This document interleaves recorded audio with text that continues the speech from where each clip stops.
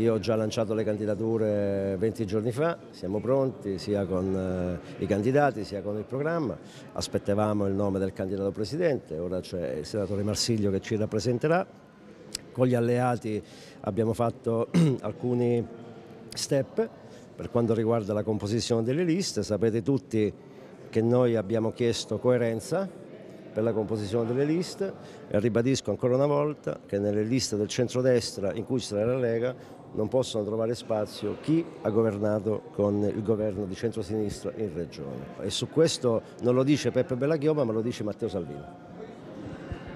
Dunque rottura con l'UDC o UDC a patto che non ci siano quei nomi?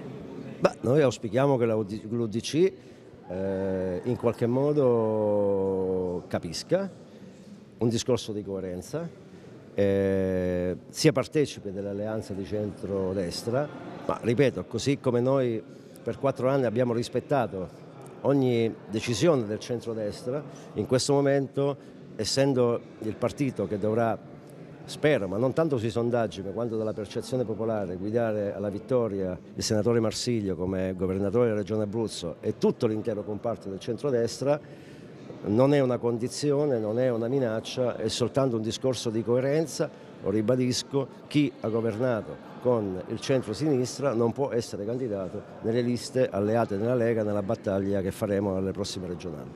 Quanto siete preoccupati della corsa solitaria di Fabrizio Di Stefano, un esponente di centrodestra molto noto? Sì, beh, eh, sulla capacità politica e sull'esperienza politica di Fabrizio non ci sono dubbi. Eh, io dico e penso e sono assolutamente certo che Fabrizio ha un'anima di centrodestra e che eh, sicuramente per quanto mi riguarda come segretaria della Lega farò di tutto perché Fabrizio entri a far parte della squadra del centrodestra. Su Marsiglio tutto risolto, questa mattina Salvini ha detto è il miglior candidato per il centrodestra. Eh, lo ritengo anch'io.